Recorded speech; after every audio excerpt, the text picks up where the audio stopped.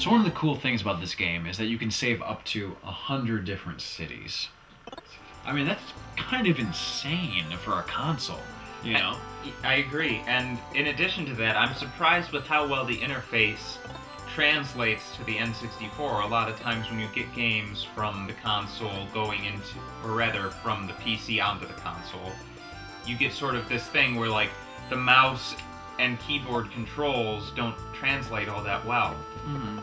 But I thought they did a really good job of allowing you to just open the menu with Z and get through the menus pretty easily. My only complaint is that the scrolling can kind of be a little bit imprecise with the analog stick. Yeah.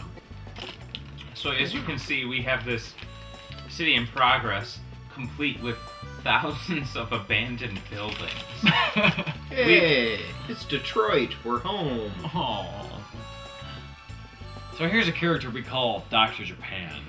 Uh he's I think he's supposed to be like the financial advisor, but it's a little bit difficult to understand what he's saying because it's all in Japanese.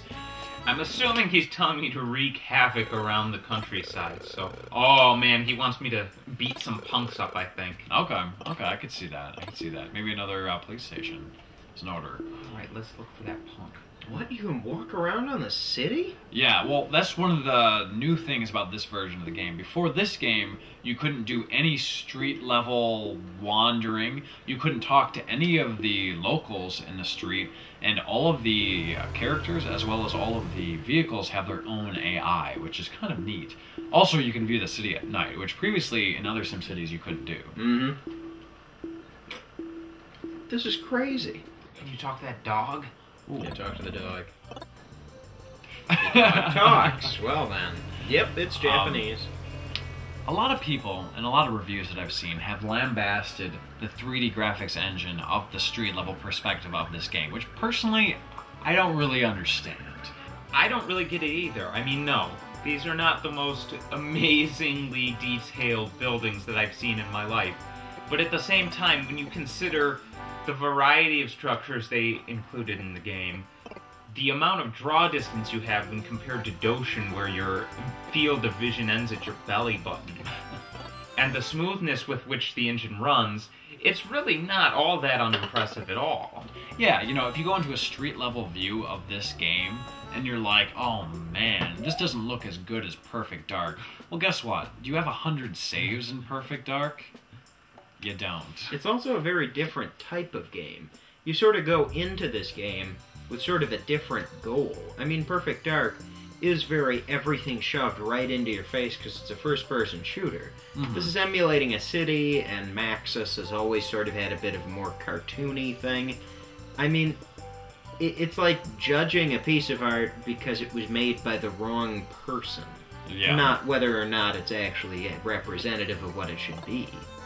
If you've played SimCity before, or if you have a basic understanding of shapes, uh, you can kind of figure out the menu. For example, this is power, electrical lines, uh, houses, kind of more urban development, commerce, etc.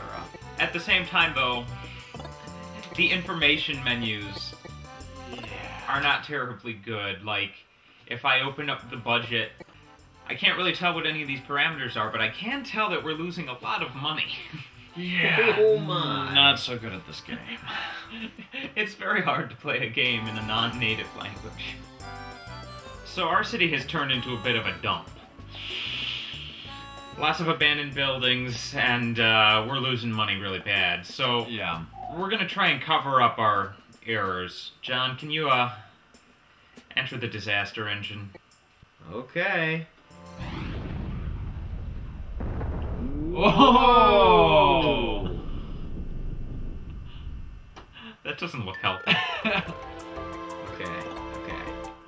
Which one isn't fire? Upper right.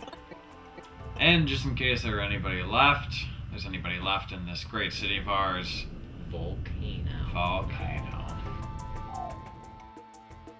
Yeah. Doo doo, just taking a stroll in my little city. Just going out for a nice big walk, having fun. I'm gonna go ahead and give SimCity an 8 because it doesn't have all the features of your average SimCity, but here's the thing it added a lot of features we haven't seen on any of the others. So that's pretty cool. But Hmm. Doshin with his like crazy walking and stuff like that, I don't know. He earned a special place in my heart and a rating that can only be demonstrated as this.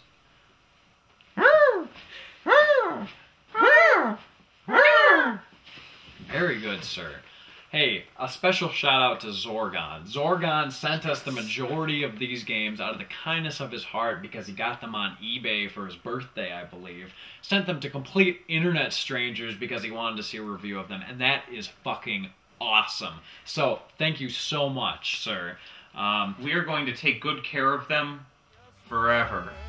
for It's disc drive. I'm going to spend them on math. yeah, Don't put on your glasses like PlayStation wants you to.